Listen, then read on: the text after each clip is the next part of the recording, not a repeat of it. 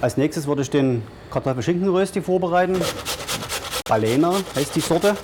Ist eine festkochende Kartoffel, ist nicht so wässrig. Es hat einen leichten Mehlanteil, also Mehliganteil, aber ist sehr gut für ein Rösti geeignet. Ich tue das auch nicht ganz so fein reiben, ich mache das ein bisschen grober. Das bringt den Kartoffelschmack noch ein bisschen weiter hervor. Ich würde Zwiebeln mit runterreiben.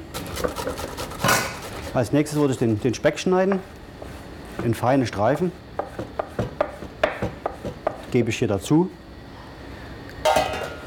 Tue kurz durchrühren. Salz dazu und Pfeffer. Dann Prise Muskat.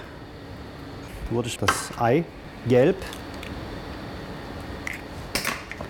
unterheben, ordentlich vermischen, damit die Bindung von der Kartoffel und dem Ei gut entsteht und uns der nicht auseinanderfällt.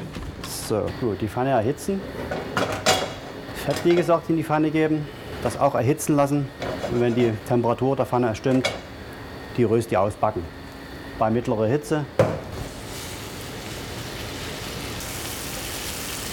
ca. anderthalb bis 1 cm dick, also nicht zu dick, dann brauchen sie lange die Rösti und die Flüssigkeit, wenn doch Flüssigkeit sein sollte, in der Schüssel lassen, also nicht mit in die Pfanne reinkommen.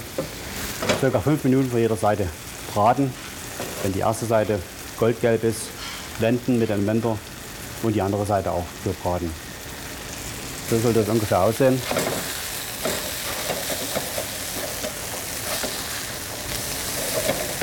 So, ich würde jetzt die Kartoffelrösti aus der Pfanne nehmen. Sie sehen hier optimale Farbe von beiden Seiten. Leg die auf ein Küchenkrepp, damit das Fett nochmal aus dem Rösti nochmal der letzte raustritt. Lasse es in den Ofen noch mal ein kleines bisschen nachziehen, so auch ca. 10 Minuten. Sei auch du dabei. Teile dein Rezept auf Topfgucker TV und nutze die Vorteile für deinen Erfolg.